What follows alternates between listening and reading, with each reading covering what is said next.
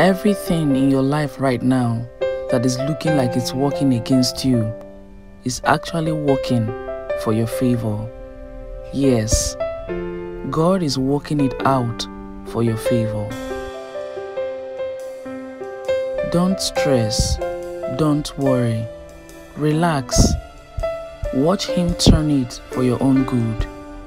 He's not done with you till it's all good. Welcome to a new horizon. Commit all that concerns you to Him. Trust in His ways with all your strength. Remember, we can do all things through Christ who strengthens us. A new dawn has come upon you. Your light shall shine for all to see. The glory of the Lord rises upon you. It's a new horizon for you.